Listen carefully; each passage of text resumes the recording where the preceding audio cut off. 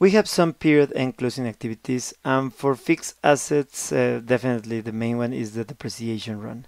So uh, in this lesson, we want to show a new Fiori app that we have available just for, uh, well, uh, first running a test and then an update for the depreciation. And especially for people who have a long time using the SAP system, you will probably find this really interesting because it's very different from the approach in the uh, previous releases in SAP Logon. Uh, actually, we have like a template concept in which we can like copy from a previous execution, maybe modify some values, run it again. So it's really interesting. bubble to show this, let's open the periodic activities group of apps. And here we have the manage depreciation runs uh, app. So let's start that one.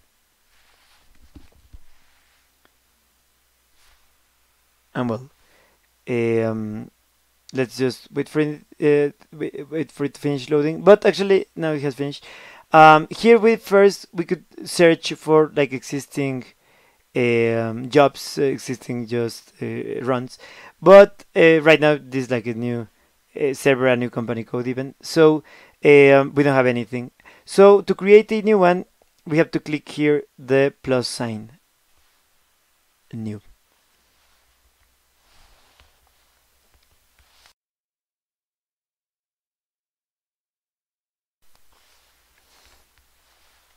Now, well, as we were saying, now we have this concept of templates. So we have a job template just for the periodic depreciation posting run. And for this actual run, we will just uh, uh, add a, uh, a, description here, well, like an additional description, just saying that it will, this will be the test run. So, well, um, we have the uh, parameters first here, especially the start immediately. We want that one just to show the results immediately. And if we scroll down, we have just like the, the accounting parameters to say in a way. And of course, we have to start with the company code. Now, if you remember, we have the previous year open, the 2020, and actually we even posted some assets in uh, January. So we will actually run for uh, year 2020, and we will post uh, for January uh, for this test run. So we will just type January here, like well, 01. Uh, right now, this we want this to be a test run, so we will just leave this uh, checkbox checked. And um, for the options for the output, we want the detail log. With this, we can just click schedule and well we get this this brief message. But actually the app just takes us back uh, we will take us uh, take us back sorry to the um, uh, initial screen. But now we have one line. And what's also interesting is that right now it's saying in process. But like to update or like to refresh we just have to come here all the way to the top and click go. And as you can see now it will say finished So it was, uh, well, the, the run has now finished and we can um, okay we can just uh, see a bit more of the log or even the results. Let's let's have a look at the results for example.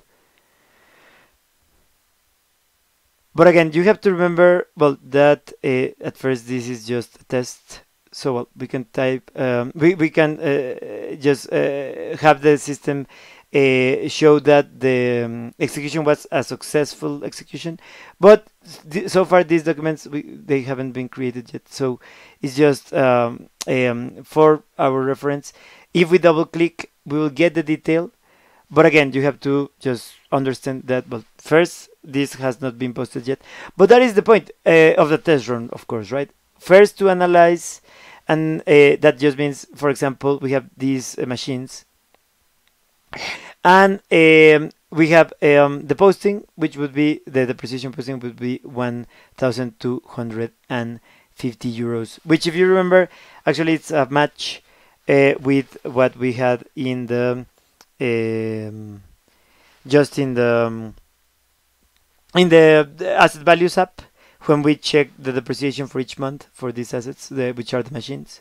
And of course, we have like like multiple times this, like well, uh, one time for machine three and another time for the same machine and one time for machine four and also again. Because that is just because uh, well we have two depreciation areas that are relevant for this posting. So well the test run was successful. Everything that is being shown here is well successful and is correct so for the time being we can just uh, actually like close the app. Well we get back to this uh, main screen but we can even also uh, quit this app now. And uh, later we will just see what else can we do assuming that everything was successful. And actually in this scenario it was. So for example like run this in update mode and just continue with the processing. But for the time being uh, we just invite you to keep learning with all these coming lessons and we thank you all